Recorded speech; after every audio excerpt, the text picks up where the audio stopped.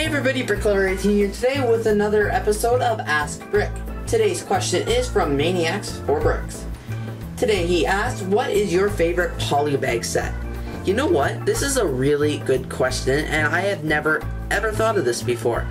Um, I have so as I read this question, I was thinking like, what is my favorite polybag set? And I thought of a bunch that I liked, but I really couldn't just decide on one. So I decided to pick a bunch. So first I'm going to tell you the, my favorite polybag sets that I don't have.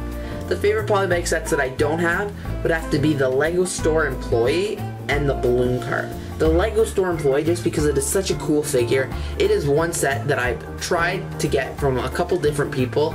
Just because it's so expensive to buy, I was trying to trade it and stuff like that, and they were all, we all, the trades never did work out and now they're kind of hard to find. So that was one set that I really liked, and the balloon cart, just because I almost I was gonna order from Lego Shop at Home to get it, but I just didn't have seventy-five dollars to spend on at the time just to get the poly bag, so I decided not to get it. But that was also a really cool set. Do I regret not getting it? You know, not really. If I really wanted the balloon cart that bad, I could make my own. But now that you've heard the poly bags that I don't have that I really like, here are the poly bags that I do have that I really like. So trying to decide what poly bags were my favorite were kind of hard for this one because there's so many good poly bags, but there's some of them are just good. They're not great. So I finally decided on these few.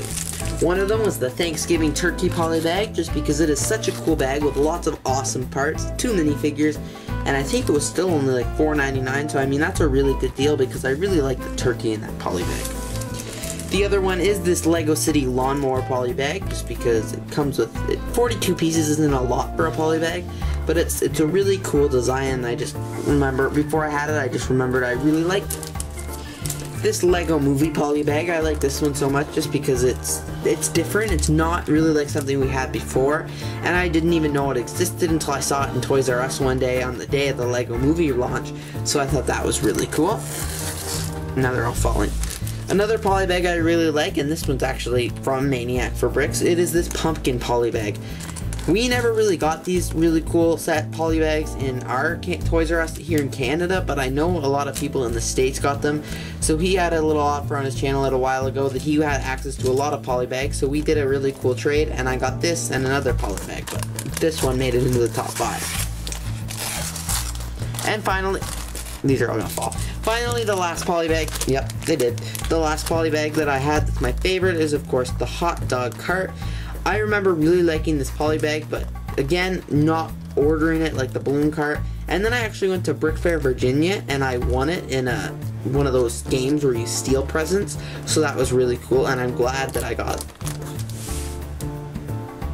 Thanks, Maniac for Bricks, for your awesome question. I, I thought it was a really good question, the one that I had never thought of before. So thanks everybody for watching this episode of Ask Brick. If you have a question that you want to see me answer in, in an episode like this, please comment below by letting me know that you have a question, basically, by asking the question. Thanks everybody for watching. I hope you have a great day and I hope you enjoyed this video.